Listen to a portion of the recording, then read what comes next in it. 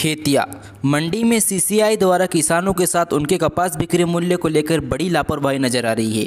बीते कुछ दिनों से जो कपास किसानों ने सीसीआई को बेचा है, यह सोच कर कि उनकी दीपावली अच्छी जाएगी, मगर सीसीआई को 20 से 25 दिन होने के बावजूद आज तक उनका पैसा बैंक खाते में नहीं डाला गया। इसी संबंध में ब्लॉक कांग्रेस खेतिया ने एसडीएम के नाम ज्ञापन देकर किसानों के कपास बिक्री के मूल्य को उनके खाते में डालने के लिए जन मोर्चे के साथ तहसील कार्यालय में एसडीएम के नाम ज्ञापन दिया गया।